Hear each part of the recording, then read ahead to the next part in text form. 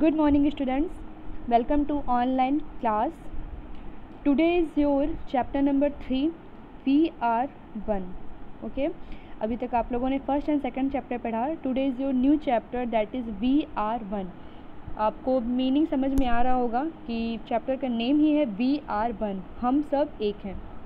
Okay we celebrate many occasions together with our families relatives and friends हम कई सारे जो त्यौहार होते हैं हम कई सारे जो त्यौहार होते हैं, हम अपने फैमिली के साथ सेलिब्रेट करते हैं, अपने रिश्तेदारों के सेलिब्रेट करते हैं और अपने दोस्तों के साथ सेलिब्रेट करते हैं।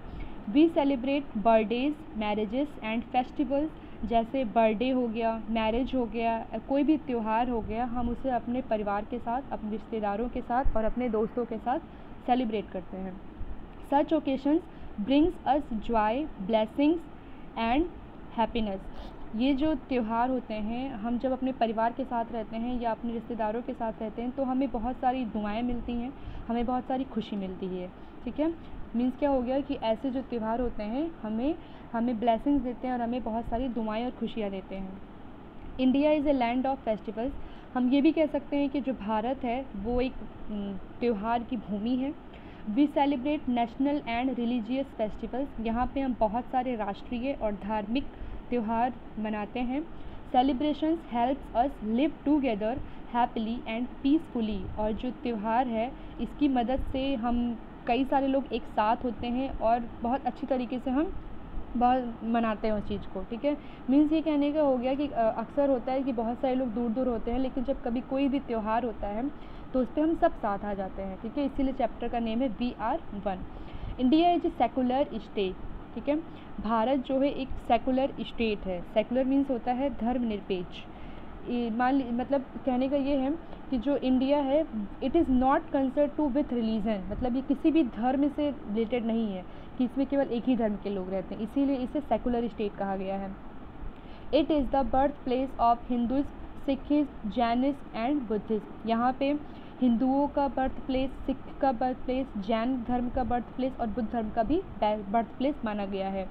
Other major religions of the world, such as Christianity Islam, Judaism, etc. और भी बहुत सारे धर्म हैं, जैसे क्रिश्चन हो गए, इस्लाम हो गए, बहुत सारे धर्म भी यहाँ पे, या बहुत सारे धर्मों का यहाँ पे बर्थ प्लेस है। Are also practice by the people of India. People of every religion come together to celebrate and honour their deities बहुत सारे धर्म के अलग अलग लोग भारत में अपने अपने देवी देवताओं का सम्मान करते हैं। और हम भी ऐसा नहीं है कि हम केवल अपने ही धर्म का सम्मान करते हैं, दूसरों के धर्म का भी, दूसरों के देवी देवताओं का भी हम सम्मान करते हैं। This promotes brotherhood among people और यही हमें बढ़ावा देता है कि हमारे लोगों में कितना भाईचारा है।